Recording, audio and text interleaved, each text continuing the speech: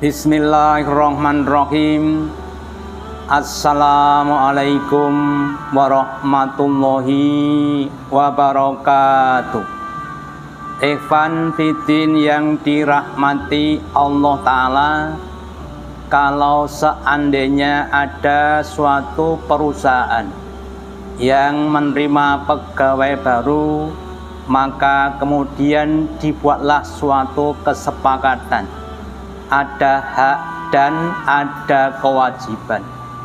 Pekerja berkewajiban untuk bekerja dengan maksimal dan perusahaan berkewajiban untuk membayar gaji kepada karyawan. Demikian juga ketika ada orang yang masuk ke dalam Islam, maka Allah akan memberikan berbagai macam pekerjaan amal yang harus dikerjakan oleh orang-orang yang menyatakan dirinya berislam kepada Allah Ta'ala. Semakin banyak perbuatan, amalan kebaikan yang dapat dikerjakan, maka nanti gajinya pahalanya akan semakin tinggi. Namun kadang-kadang ada orang yang kemudian merasa berat sehingga justru mengurangi amalannya bahkan kemudian merasa malas dengan amal-amal yang ada di dalam Islam. Maka Allah mengingatkan kepada mereka Ya ayuhalladzina amanu mayyattadda minkum antinisi Wahai orang-orang yang beriman Siapa saja di antara kalian yang murtad dari agamanya fasawfayatillahu biqaumin.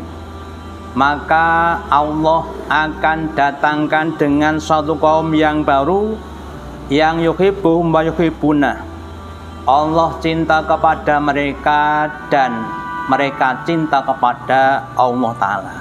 Jadi kalau kita-kita ini kemudian murtad dari agama Islam karena merasa berat dengan syarat Islam, maka nanti kita akan di PHK Allah. Allah akan datangkan dengan kaum-kaum yang baru, yang lebih hebat, yang lebih rajin, yang lebih istiqomah dan yang lebih ikhlas. Maka mari kita pertahankan Islam kita jangan sampai kita di PHK oleh Allah Ta'ala jadilah pekerja Allah Ta'ala sampai akhir hayat. Karena kita sudah dijanjikan Allah Ta'ala balasan yang jauh lebih besar dibanding dengan pengorbanan kita yaitu berupa nikmat-nikmat di surga. Wassalamualaikum warahmatullahi wabarakatuh